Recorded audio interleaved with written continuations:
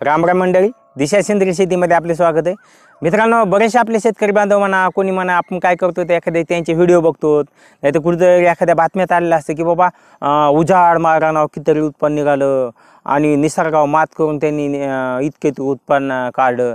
पण हे शक्य नाही बरं का. आपण बघा तुम्ही ते पण त्याच्यावरचा जे काय खर्च झालेला असते त्याचा आपण ताळमेळ करीत नाहीत विचार करीत नाहीत. आपण सुद्धा काय म्हणतो नाही नाही त्यांनी उत्पन्न काढलं. आपण बी ते ते घेवात हे करावं पण ते सगळं विषारी असते सगळं घातक असते आणि आपण त्या आहारी जाऊन पुन्हा आपण कर्जबाजारी होतो.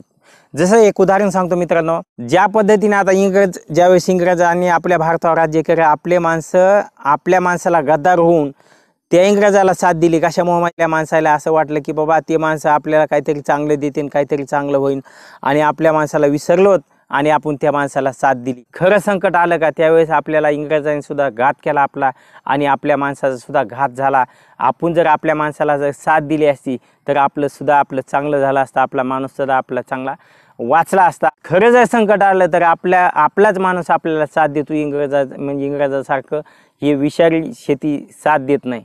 तसंच आपल्याला जर सेंद्रिय पद्धतीने शेती जर केली तर आपली ही काळी आई आपल्याला कधीच साथ सोडणार नाही. त्याच्यामुळे आपल्याला सेंद्रिय शेती करा सेंद्रियची कास धरा. आपण जरी म्हणलो तर आपला रासायनिक शेतीवरचा खर्च ह्या वर्षी एकदा जर केला तर पुन्हा पुढच्या वर्षी करायची गरज पडत नाही. तसं नाही मित्रांनो आज जर आपण रासायनिक पद्धतीने जर शेती जर केली ह्या वर्षी जर एक रुपया जर खर्च केला उदाहरण म्हणून सांगतो. एक रुपया जर खर्च केला तर पुढच्या वर्षी आपल्याला दीड रुपये खर्च करावा लागते. तिसऱ्या वर्षी आपल्याला दोन रुपये खर्च करावा लाग जर केला तर वरच्या वरच्या खर्च त्याच्यात का हे करीत बसावं लागतं आणि जमिनीची वाट लागती. जमीन नापीक बनती. तर सेंद्रिय शेतीचं नाही मित्रांनो. सेंद्रिय शेतीमध्ये आज जर आपण शेण शेणखत जर ह्या वर्षी टाकला आच्छादन जर केलं तर पिढ्याने पिढ्या पिढ्याने पिढ्या जमीन ही सुपीक बनती. ह्युमस वाढतंय कर्ब वाढला जमिनीचा तर आपलं उत्पन्न वाढत चालतंय. दरवर्षी शेणखत टाकायची गरज नाही. विचार करा.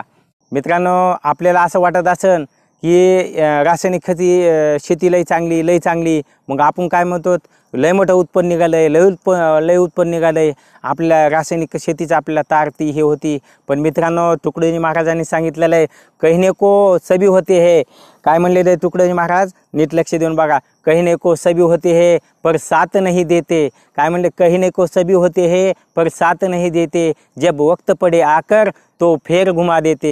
तसंच मित्रांनो ज्या पद्धतीने आपल्याला जरी रासायनिक शेती आपल्याला चांगली चांगली वाटत असली तर खरं जर टाईम पाडा तर आपल्याला ती साथ देत नाही. दरवर्षी त्याच्यावर खर्च करावा आहे तसं आपल्याला जर शेणखतं आपल्याला सेंद्रिय शेती जर करायची असल्यास आपलं शेणखत टाका.